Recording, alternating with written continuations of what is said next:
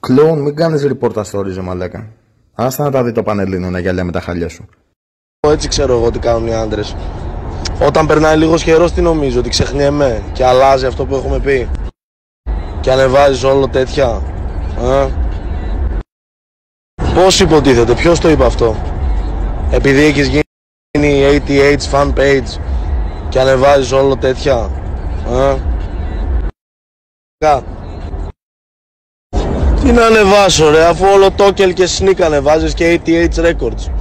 Έχεις να ανεβάσεις πώς για μένα 45 χρόνια και όταν ανεβάζεις είναι μαλακία.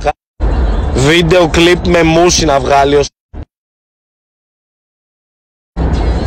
ε, να κάνει ε, αποτρίχωση στις μασχάλες του Sneak. Για γράψτε από κάτω όλοι σχόλια. Τέλος πάντων, να σου πω λίγο. Στείλε λίγο από το κανονικό σου Τζιμάκο. Στείλε λίγο από το κανονικό σου.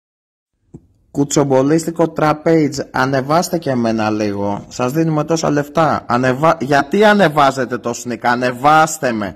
Δεν έχω βάλει fake followers, όχι. Έκανα όλο το tour φορτωμένος με το Glock. Σιγά μας παίρνουν τα σκάγια ρε μαλάκα. Γαμημένε κλόουν μαλάκα.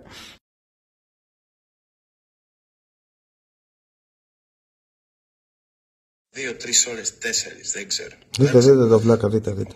Θα τα πούμε ότι είναι από κοντά. Σέντρα θέλει, κοίτα, δείτε, δείτε, Μήνυμα δείτε. Τι ήτανε. Κοίτα, άκου. Άμα θες, έρχομαι και τώρα off camera και μετά το κάνουμε και on camera. Πες μου, άμα θες location. Κοίτα ώρα. Ώρα, ώρα, ώρα. Πού λέει την ώρα; Πού λέει την ώρα; Πολύ τσιτσάτ κάναμε, αλήθεια. Και έχω 16 και κουραστεί. 56, 16 και 52. Βλάκα! Βλάκα!